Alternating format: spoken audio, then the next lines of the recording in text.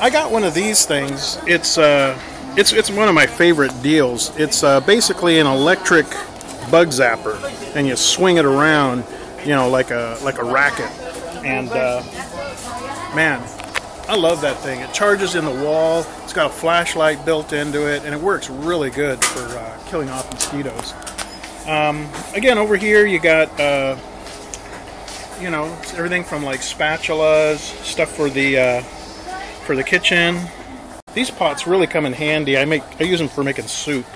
You know, so they got pots, lots and lots and lots of pots, lots of cookware. You know, oh, rice cookers. I mentioned before that they have a lot of rice cookers. I wasn't kidding. Um, this is just some of the rice cookers. Hello, I'm doing a video for the internet. Yeah, for tourism. Show show Americans and Canadians all that how it is to come down here. So where you came from, sir? I'm from California. Yeah, yeah. Still no asawa.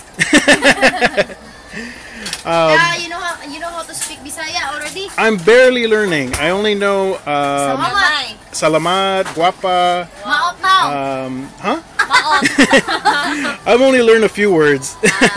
yeah, in fact, I got to go get a dictionary and, and learn more. Yeah. Hello. Hi. Uh, plumbing items, um, cookware. What do we got down here? Silverware. I should really pick up some more silverware. In fact, I probably will. Uh, now, can openers. Can openers have been the bane of my existence. I got one of these, and it, it pretty much self-destructed uh, like the third time I used it. So if you're going to get a can opener, um, that's probably the only object I would tell you to go to the mall and spend like $15 or $20 to get a really good can opener if you're going to be opening cans. Um, because the, the really cheap can openers just kind of fall apart. Hello, hi. um, and then you got like bathroom items here. Tupperware is like a really big deal here. Hello. Hi. Uh, Tupperware is a really big deal here because hello, hi, hi. We're doing a video for the internet. Show them the store. Um, so yeah, you got like houseware items here. Um, Tupperware is a really big deal. Uh, so are these water containers because you know with the the ants, you know keeping the ants and the flies off of your food is important. So some of these are for for just dishes, keeping the bugs away. You know, uh, so Tupperware is like a really big seller here. Now these buckets, you might be wondering why there's so many different buckets at different sizes. Uh, this is so you can reserve water. Um, the water tends to go out a lot of times, especially in the province, mostly in the province, and you might go a whole day without water. So what a lot of people do is they just keep uh, one of these filled up, and depending on how often it happens, they'll either get the really big ones or the smaller ones.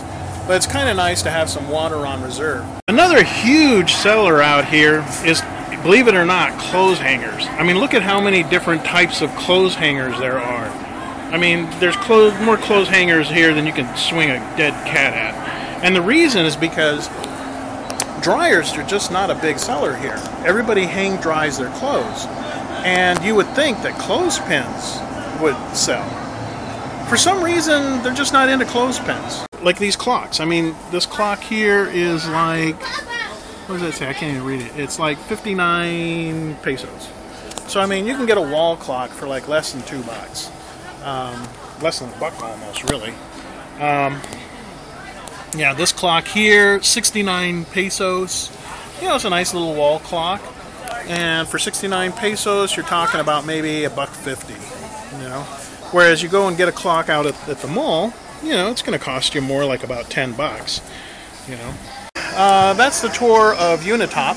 Kind of give you an idea. Bottom line, if you just shop around and check the quality of the stuff here first, um, and you're getting just basic things that you need for the house or the kitchen, uh, you get some really good deals here.